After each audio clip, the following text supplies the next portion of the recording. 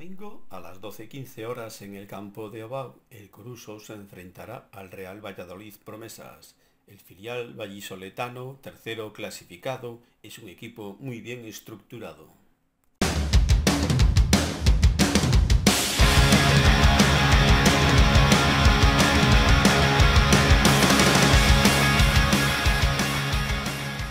Antes que nada, saber qué tal estás del golpe que recibiste el pasado domingo. Bien, bien, un poquillo cargadillo, pero, pero bien, al final fue más el momento de la jugada que, otra cosa. Ahora te estás convirtiendo en el hombre de los goles decisivos. Bueno, eso, no...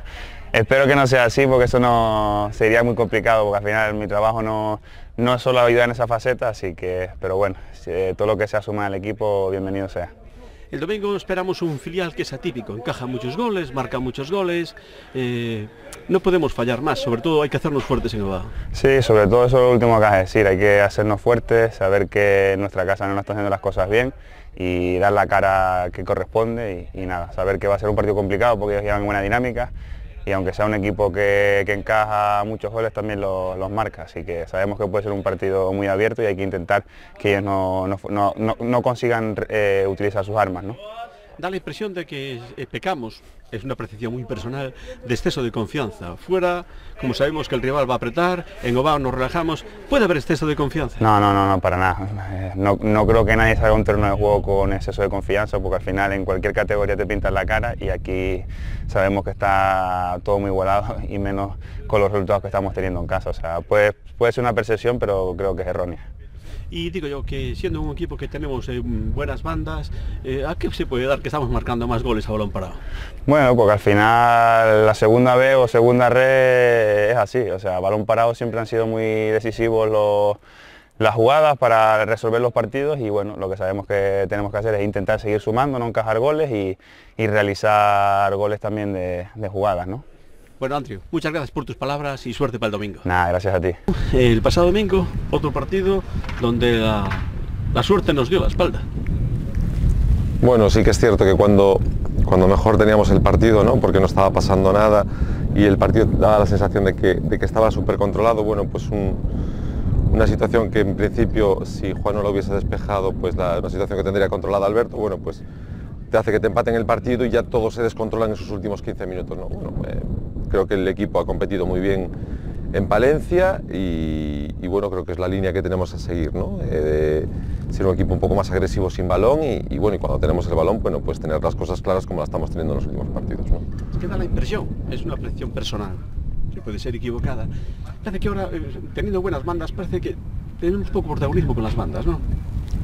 Bueno, eh, sí que es cierto que a lo mejor estamos exigiendo un poquito más ahora en el plano defensivo a los medios de banda, entonces bueno, siempre llegan un poquito más cansados ¿no? cuando tienen que participar en la fase ofensiva. Bueno, creo que son momentos donde hay que exigir al futbolista eh, trabajo defensivo, ¿no? que es lo que es cuando estás en situaciones críticas, es digamos que es donde más vas a, a notar esa mejoría, ¿no? porque si los resultados o si la portería se mantiene a cero, perdón, pues eh, da la sensación de que estás más cerca de poder ganar, ¿no? Entonces, bueno, estamos en esa fase donde estamos dejando de ser un poquito tan, tan estéticos para ser un poco más pragmáticos, ¿no? Y bueno, creo que es la línea que, nos toca seguir ahora en este momento de temporada donde estamos en, ese en ese impasse donde los, resultados no están llegando y creo que es lo que toca en estos momentos, pero viendo cómo está entrenando el equipo no tengo la menor duda de que, de que los resultados van a acabar llegando el rival del domingo es un, un, filial atípico. Encaja, es el que más goles encaja prácticamente del grupo, pero al mismo tiempo es el que más eh, goles marca. Sí, es el, para mí es el equipo con más talento ofensivo de la liga. ¿no? Eh, de medio campo hacia adelante, dentro de dos, tres años vemos, veremos a cuatro o cinco futbolistas en el fútbol profesional. ¿no? Eh, es un equipo que, que, tiene mucho talento ofensivo, que es alegre, ¿no? Que da gusto verlos jugar, ¿no? Es un equipo muy dinámico, bueno, pero que también tiene sus carencias, ¿no? Entonces, bueno, vamos a intentar explotarlas al máximo y, bueno, y a ver si esta es la definitiva donde empezamos a convertir el BAU en un fortín, ¿no?